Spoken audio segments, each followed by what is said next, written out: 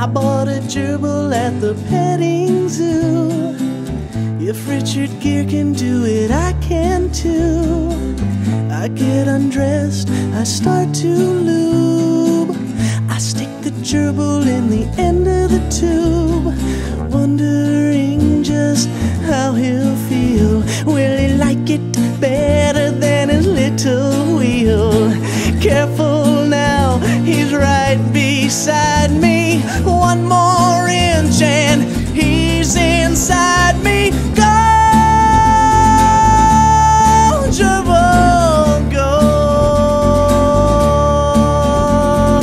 Burrow harder, burrow deeper.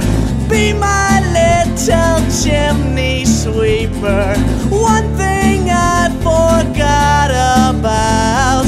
How am I supposed to get you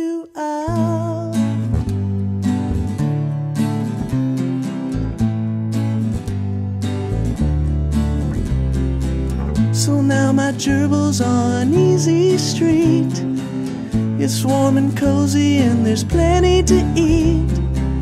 The situation is beyond my control.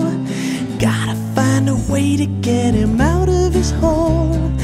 I try crowbars, I try wires. I almost had him with a pair of pliers. I tried cheese, wish this wasn't so exciting. Go, gerbil, go. Jesus, I am such a sucker. Please get out, you furry fucker.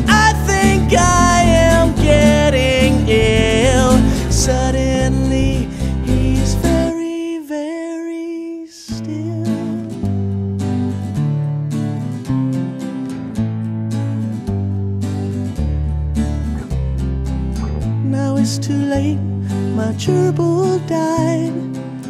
I guess I have committed gerbicide. Here's some advice, it's very clear cut. If you love your gerbil, don't stick him up your butt. Don't stick him up your butt. Little furry gerbil in your booty hole. And you put him in your chest and I won't come out and I'm on a fucking day and I put him paved out and I skilly baba do abba do abba do abba do abba do and I shilly bop ding ding. Yeah.